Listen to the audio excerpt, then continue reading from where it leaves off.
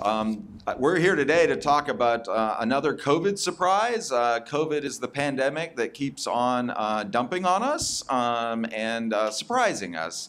And in this case, uh, we did not expect uh, to be facing a blood shortage, but unfortunately, we've been surprised by an increase in demand and certainly struggles to get people to come in and donate because of distractions that they have with the, the um, new opportunities to enjoy Uh, their lives post COVID. I'm happy to say if you've received the vaccine, you absolutely uh, can give uh, blood, oh. whether you're about to get the vaccine or you've had the vaccine, we need you as a, a blood donor.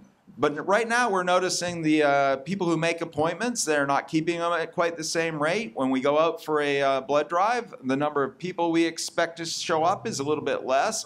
Part of recovery is keeping the blood supply strong. We've noticed increased demand from our hospitals because, much like people are finding other things to do with their social lives, they're finding other things to do to get back and get treatments all that pent up care is now racing back at us.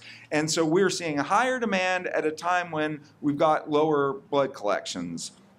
So we're asking for your help, and how can you help? There, there are probably three great ways you can help us. Uh, if you can donate, and most of the population can, please come in and, and give a unit of blood. Uh, the, the next thing is that if you can host a blood drive, maybe you haven't had a blood drive for a year, you used to, but uh, COVID put that off. Make us part of your coming back to life and restoring normal. So uh, please, we need the blood drives. And then um, recruit somebody. Uh, if you know somebody who is a donor, encourage them. If you see somebody who might be a donor, encourage them. And, and for those who are hearing this and they say, well, nobody's ever asked me to give blood, blood.